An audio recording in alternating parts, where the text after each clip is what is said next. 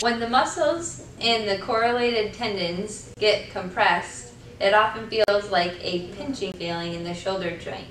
This pinching and stress on the soft tissues then cause inflammation, which is then what makes you feel the pain.